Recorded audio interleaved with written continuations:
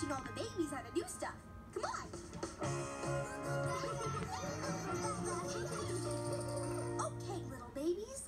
Are you ready to learn stuff? This is called a toothbrush. You use it to brush your teeth. Hey, wait a minute. We're babies. We don't have teeth yet. I forgot about that. Mr. Grouper, who will teach my baby brother or sister the things a baby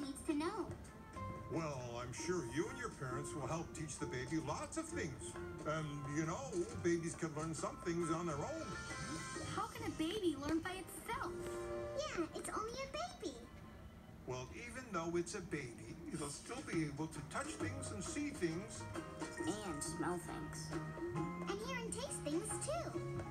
That's called using your senses, right, Mr. Grouper? That's right. Can use their senses to learn about the world around them. Let's sing about it.